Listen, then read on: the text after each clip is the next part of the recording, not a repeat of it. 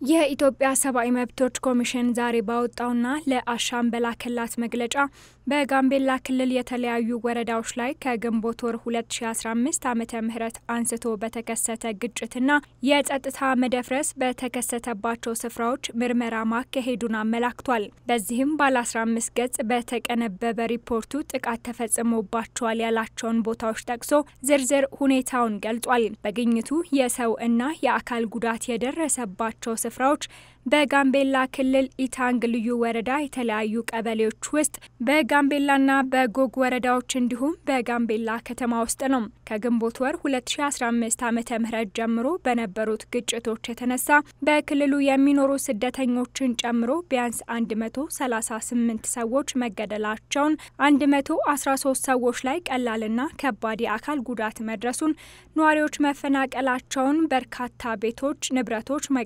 መቃጠላቸውንና ዘረፋ መፈጸሙን ኮሚሽኑ ካሰባሰብኳቸው መረጃዎችና ማስረጃዎች ለማወቅ ችያለሁ ብሏል። ኮሚሽኑ ሪፖርቱን ያወጣበትን አጠቃላይ ሁኔታ አስመልክቶ የኢትዮጵያ ሰብአዊ መብቶች ኮሚሽን የጋምቤላ ክልል ጽሕፈት ቤት ኃላፊ አቤል አዳነ ለአሻም ነግረዋታል። የኢትዮጵያ ሰብአዊ መብት ኮሚሽን ጋምቤላ ክልል ከባለፈው ከሁለት ሺ አስራ አምስት ዓመተ ምህረት ከግንቦት ወር ጀምሮ በተለያዩ አካባቢዎች በተከሰቱ ግጭቶች የተነሳ የተለያዩ ሰዎች እንደሞቱ የአካል ጉዳት እንደደረሰባቸው የሚወጡ የሚያመላክቱ መረጃዎች ስለነበሩ በእነዚያ ጉዳዮች ላይ በቦታዎች ላይ ተገኝቶ ምርመራ ስራዎችን ሲያከናውን ቆይቷል።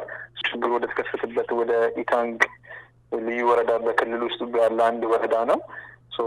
እዛ ነበር ግጭቱ ዋናነት የዋና መነሻው ምክንያቱ። ሰው ወደዛ ስፍራ በመሄድ ከተጎጂዎች ከተጎጂ ቤተሰቦች እንዲሁም ከአይን ምስክሮች ጋር ከሀገር ሽማግሌዎች፣ ከሃይማኖት መሪዎች በየወረዳው በየደረጃው ካሉ የተለያዩ የመንግስት የአስተዳደር አመራሮች፣ የጸጥታ አካላቶች ጋር በመነጋገር ቃለ መጠይቆችን የቡድን ውይይቶችን በማድረግ መረጃዎች በደረሱት ጉዳቶች ላይ መረጃዎችን ሲያሰባስብ ቆይቷል ማለት ነው። ኮሚሽኑ በኢታንግ ልዩ ወረዳ የተለያዩ ቀበሌዎች የተከሰቱ ግጭቶች ያላቸውን በሪፖርቱ ይፋ አድርጓል። በዚህም ከግንቦት ወር ጀምሮ ባሉት ተከታታይ ወራት በኢታንግ ልዩ ወረዳ ፒኛዋ ቀበሌ ነዋሪ በነበሩ ግለሰብ ላይ ግንቦት 13 ቀን 2015 ዓመተ ምህረት ጫካ ለእንጨት ለቀማ በሄዱበት መጥፋታቸውን ተከትሎ በፒኛዋና ሌር ቀበሌ ነዋሪዎች መካከል የተፈጠረ አለመግባባት ተባብሶ ወደ ማህበራዊ ግጭት ማደጉንና ይህንንም ተከትሎ ቢያንስ ሰማኒያ ሁለት ሰዎች መገደላቸውንና ሰማኒያ የሚሆኑት ደግሞ ቀላልና ከባድ የአካል ጉዳት ደርሶባቸዋል ብሏል። በተመሳሳይ ሐምሌ አምስት ቀን 2015 ከቀኑ ስድስት ሰዓት አካባቢ በፑኩሙ ቀበሌ አኛሊ መንደር ወፍጮ ቤት ውስጥ የታጠቁ ቡድኖች ድንገት በከፈቱት ተኩስ አንድ ህጻን ልጅ ህይወቱ ማለፉን፣ ሁለት ሴቶች በጥይት መቁሰላቸውን ከምስክሮች ተረድቻለሁ ብሏል። ኮሚሽኑ በዛ ወረዳ በሌላ ቀበሌ የደረሰውን ጉዳት ሲያስረዳም ሐምሌ 13 ቀን 2015 ዓ ም ከቀኑ አምስት ሰዓት አካባቢ በፒኖ ቀበሌ ላይ በሌርና በፒኖ ቀበሌ ነዋሪዎች መካከል በተከሰተ የእርስ በርስ ግጭት ቢያንስ የ46 ሰዎች ህይወት ማለፉን 46 ሰዎች ላይ የአካል ጉዳት መድረሱንና ቁጥራቸው በውል የማይታወቅ ነዋሪዎች መፈናቀላቸውን ካሰባሰብኩት መረጃ አግኝቻለሁ ሲል በሪፖርቱ አካቷል። እንዲሁም ሐምሌ 13 ቀን 2015 በተመሳሳይ በፑኩማ ቀበሌ ውስጥ በታጠቁ ቡድኖች አንድ ሰው በጥይት እንደተገደለም ይፋ አድርጓል። በክልሉ የተከሰተው ሌላኛው ጥቃት ሐምሌ 18 ቀን 2015 ዓ ም ከሌሊቱ 10 ሰዓት የደረሰ ሲሆን ጉዳቱም የደረሰው የታጠቁ ቡድኖች በሌር ቀበሌ ላይ በፈጸሙት ጥቃት ሲሆን በዚህም 19 ሰዎች ህይወታቸው ማለፉንና 11 ሰዎች መቁሰላቸውን ኮሚሽኑ አስታውቋል። ኮሚሽኑ በሁለቱ ቀበሌ ነዋሪዎች መካከል ከግንቦት 2015 አስቀድሞ አልፎ አልፎ ይከሰት በነበረው የእርስ በርስ ግጭት ምክንያት ሰዎች በተለያዩ ጊዜ ተገድለዋል፣ የአካል ጉዳት እንደደረሰባቸውም የሚያስረዱ ምስክሮች መኖራቸውን ጠቅሷል። ኮሚሽኑ በዚህ ወረዳ ተፈጽመዋል ያላቸውን ግድያዎች፣ የአካል ጉዳት አደጋዎችን በዝርዝር በሪፖርቱ ላይ አስቀምጧል። ኮሚሽኑ በጋምቤላና ጎግ ወረዳዎች ደረሱ ባላቸው ጥቃቶች ሰኔ 9 2015 ዓመተ ምህረት በጋምቤላ ወረዳ በኡፓኛ ቀበሌ በመንገድ ላይ ሳሉ የታጠቁ ሰዎች ተኩሰው ጉዳት እንዳደረሱበት እንዲሁም ሰኔ 10 ቀን 2015 ዓ.ም ከቀኑ 10 ሰዓት ገደማ በጎግ ወረዳ እንጨት በመሸጥ ሲተዳደሩ የነበሩ ሁለት ሰዎች በጫካ ውስጥ ማንነታቸው ባልታወቀ ሰዎች በጥይት ተደብድበው ተገድለው መገኘታቸውን የሟች ቤተሰቦችና የወረዳው አስተዳደር ለኮሚሽኑ አስረድቷልን ብሏል።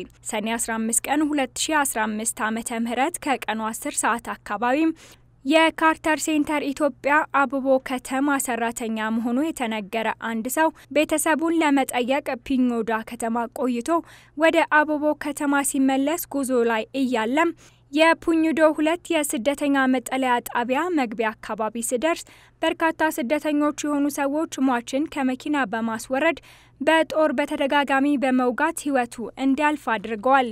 ኮሚሽኑ በተመሳሳይ በዚሁ ወረዳ ላይ ተፈጽመዋል ያላቸውን የወንጀል ድርጊቶች አብራርቷል። በመሆኑም በክልሉ በሪፖርቱ ላይ በአጠቃላይ የተደረሰበት የጉዳት መጠንን ኃላፊው አብራርተዋል። በመንግስትም የተወሰዱ እርምጃዎች ነበሩ። የደረሱትን ጥቃቶች ለማረጋጋት፣ ሰላምን ለማስፈን በክልሉ መንግስት ከፌዴራል መንግስት ጋር በጋራ በመሆን የተወሰዱ እርምጃዎች ስለነበሩ በእነዛም ጉዳዮች ላይ የክትትል ስራዎችን ስንሰራ ቆይተናል። ካከናወን ነው ከምር እስከ መስከረም ሰላሳ ካከናወን ነው ከምርመራ ስራዎች በተጨማሪ ማለት ነው። ባገኘነው መረጃ መሰረት ቢያንስ ወደ መቶ ሰላሳ ስምንት ሰዎች ህይወት ማለፉን ወደ መቶ አስራ ሶስት ሰዎች አካባቢ የሚደርሱ ደግሞ ሰዎች ላይ ቀላል እና ከባድ የሚባል የአካል ጉዳት የደረሰበት ሁኔታ አለ። ከዚህ ከዚህ ሁኔታ በተጨማሪ ደግሞ የግለሰቦች የግል መኖሪያ ቤቶች፣ የንግድ ተቋማትም ሊሆኑ ይችላል። እንዲሁም ደግሞ የተቋማት ንብረት ላይ ጉዳት የደረሰበት ሁኔታ ነበር ማለት ነው። ባገኘነው መረጃ መሰረት ኮሚሽኑ በአካባቢው ነዋሪዎች ላይ ደርሷል ብሎ ካወጣው ሪፖርት ባሻገርም በስደተኞች ላይ የደረሰውን ጥቃት ይፋ ያደረገ ሲሆን በሪፖርቱም ቁጥራቸው በርካታ ሰዎች ህይወታቸው ማለፉ ተመላክቷል። እንዲሁም በንብረት ላይ የደረሰውን ኪሳራም አስፍሯል። ኮሚሽኑ በመንግስት የተወሰዱ ያላቸውን እርምጃዎችም በሪፖርቱ ያካተተ ሲሆን በዋናነትም ጉዳዩን በማጣራትና በወንጀል ተባባሪ የሆኑ ባለስልጣናት ላይ ምርመራ በማድረግ ላይ መሆኑን ማህበረሰቡን ወደ እርቅ እንዲያመራ እያደረገ እንደሚገኝም አትቷል። በመግለጫው የሰፈረው ሌላኛው ጉዳይ አሁን ላይ በክልሉ ነዋሪዎች መካከል እርቀ ሰላም መፈጠሩንና ተፈናቃዮች ወደ ቀያቸው መመለሳቸውን ማረጋገጡን ኃላፊው ተናግረዋል።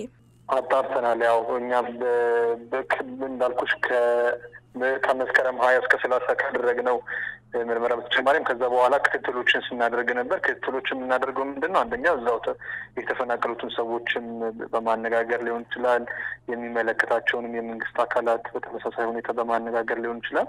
ስለዚህ ከመንግስት ባገኘነው መረጃ ብቻ ሳይሆን እዛም ያለውን ሁኔታ በአካል ድረስ በአካልም ጭምር በድጋሚ ቦታው ላይ በመሄድ ተፈናቃዮቹ ወደ ወደ መኖሪያ ስፍራቸው መመለሳቸውን አረጋግጠናል። እኛም ሪፖርቱ በመጨረሻም በቀጣይ ቢደረጉ ያላቸውን ምክረ ሀሳቦች ለክልሉና ለፌዴራል መንግስት አቅርቧል።